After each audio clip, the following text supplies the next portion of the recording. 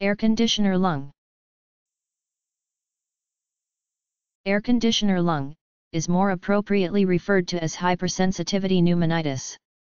Hypersensitivity pneumonitis is an inflammation of the lungs due to breathing in a foreign substance, usually certain types of dust, fungus, or molds.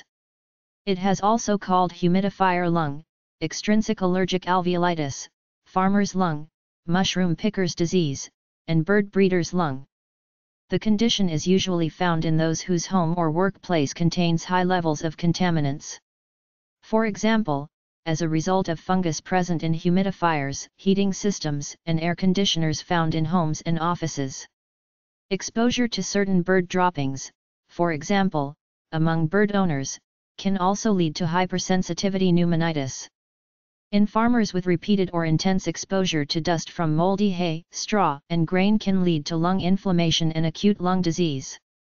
Over time, this acute condition may turn into long-lasting, chronic, lung disease.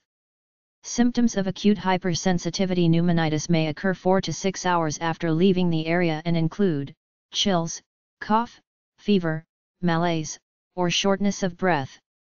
Symptoms of chronic hypersensitivity pneumonitis may include breathlessness especially with exertion, cough, often dry, loss of appetite, and unintentional weight loss. Prevention is by avoiding material that causes lung inflammation. A I R C O N D I T I O N E R L U N G Air conditioner lung